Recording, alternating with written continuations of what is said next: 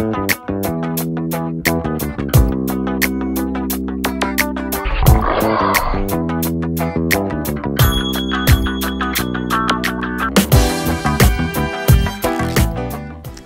thank you all so much for joining us. I'm Rita Cote. Today I have been given the distinguished privilege of introducing a very special guest. Now, this lady is an actress, producer, dancer, and choreographer extraordinaire. She continues to be one of the industry's most versatile talents, and we are so excited to have her here with us today. As you can see, I'm just on edge with her being up here in our presence. So, ladies and gentlemen, please help me welcome Mrs. Debbie Allen. Thank you. Thank you, Rita. I'm sorry. Yeah, okay. okay. got this. Okay. So just tell us a little bit about yourself and how your interest in dance got started.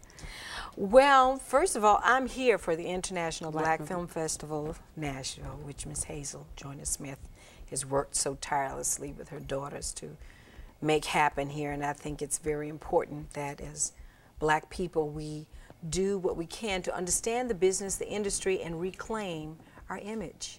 And so we're talking about a lot of things. Uh, the world of dance is how I started, and it has gotten me into all these wonderful things that I do now.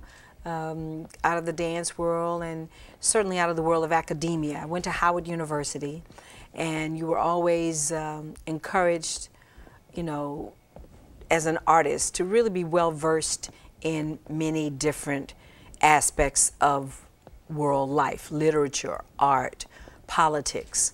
Um, and coming up at Howard University in the 70s, where the expression Black Power came into being, was a very volatile and very expressive time for all black people in America, where we were just reclaiming the sense of our beauty and the sense of our culture.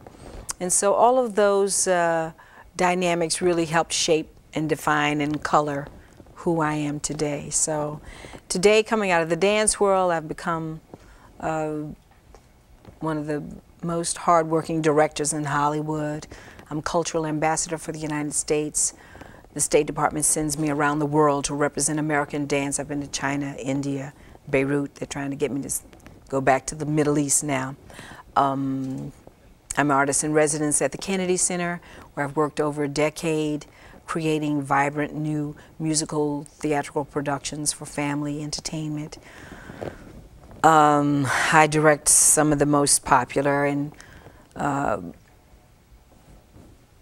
well uh, liked television series historically and now. I, you know, started on Fame, directed Family Ties, redefined a different world, which tripled the enrollment of historically black colleges. Uh, did Quantum Leap and a lot of different things. Uh, directed the pilot of The Fresh Prince of Bel Air. I'm in my resume, chat, please. Too many things. Um, was artistic director of the Academy Awards for a decade, 10 years. I did it 10 times, which is probably the longest uh, run anybody's had doing that job. So I'm still um, quite uh, an advocate of arts education, in the public school system right now, being that we're going into an election year. I'm giving a lot of voice. I'm on the President's Committee on the Arts and Humanities, which is a nonpartisan kind of uh, committee, although mostly everybody is Republican. It's okay. Um, I go and I become the mouthpiece for young people who don't really have a way to speak. Someone has to speak for them to try to change the educational system in America, which I view as a dinosaur that needs to be strangled and reinvented. Um, so I do a lot of things in the world, and I have a dance academy. And tell us about the dance academy. The Debbie Allen Dance Academy in Culver City is seven years old now. I have world-class masters. The director of my academy is former prima ballerina of the Bolshoi in Russia. I have uh, masters from the Kirov in Russia, from Alvin Ailey American Dance Theater in New York, from the west coast of Africa. I've created an opportunity for young people that um, is so meaningful because it's something I didn't have. Uh, I finally got into the Houston Ballet Foundation. I was the first black student at that uh, academy but it was very difficult for me to train as a young person. And I didn't want any young person to have those barriers. Um, so at my school, I don't care what your ethnic background is. I don't care what your physical size is. One of our best dancers, Ashley Fan, is a little chubby girl who is the best dancer, who was the best dancer at school for a long time. Um, just the heart and soul of dance. And we're trying to train a new generation of um, creative human beings. They don't have to stay in dance, but that character education through the arts will define them in principle as they become who they are in the world, if they're working at the post office, in the public school system, if they become the next uh, Quincy Jones or Bill Gates, it will uh, define them. So tell us a little bit about, you know, since you have, you wear so many hats, you know, producing and directing and acting and all of that, how do you still stay focused on, you know, family and, you know, being a woman and, you know, taking care of yourself since, you know, there are so many other things to do? Well, it's hard to uh, really focus on myself as a woman. I would say that's the part that gets the most neglect. Child, the nails need to be done. I need a little massage, you know, or just a little rest. Uh, I'm working at a pace that's, uh, you know, uh, not unprecedented, but it's uh, a real challenge. And I just know that as many things that I have on my plate, I can only eat one of them at a time.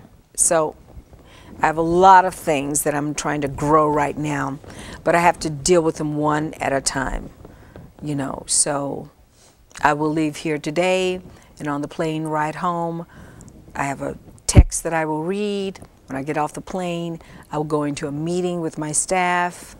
Tomorrow I have a big board meeting. Saturday morning at 8 o'clock, I'll be teaching my acting class. That's another hat. Um, you know, I just take everything on in you know I have to be kind of organized. That's the thing. You got to be a little organized. But the woman part of me does suffer a bit. You know, I would like to have a little more time for myself, and I'm actively involved in my children's lives. Um, my son is away in college. I call him every day. He says that's very gay of me to call him every day. Trying to get him to stop talking like that. Um, my daughter is in Europe. She's starring as Anita in West Side Story. I will go see her on New Year's Eve in Paris, which will be really exciting to see Vivian. So how important is you know the arts in the lives of your children. And, I know it's so important to you but how do you show them you know the beauty that is in the arts? Well you know they've grown up with it. So it's not my children that I'm so concerned with. It's other people's children. My children have grown up with um, John Biggers coming over to the house eating yellow grits and paintings of Charles White and various artists and the sculpture of Ed Dwight in their house. They've grown up understanding that it's really more important to buy a painting than a car. If you can fall in love with the art, it's really a better investment. You know, get a real cheap car, buy a great painting. Um, they um, they've lived that life with me. So I'm just really probably more concerned with other people's children where that is concerned, trying to share that that sense of expression, connect that sense of uh, mind-opening artistry, which really is a way, a conduit to creativity. And that's something that America really has to keep strong. In my travels around the world, I can see where we will be dwarfed by the Chinese in the textile industry alone. You know, when you can go to China you can get the same pantyhose you spend, spend like $5 here for that you get for 25 cents, it's getting ready to happen. You can't stop that. But it's a matter of creativity. So if America can re uh, invest in education as it really needs to be. You know, education today needs to be more of a conversation, not just memory lane, the way it kind of used to be. That education was designed for the Industrial Revolution, which is over now. We're in the computer age. There's a new language called the computer, and every child in America needs to speak it.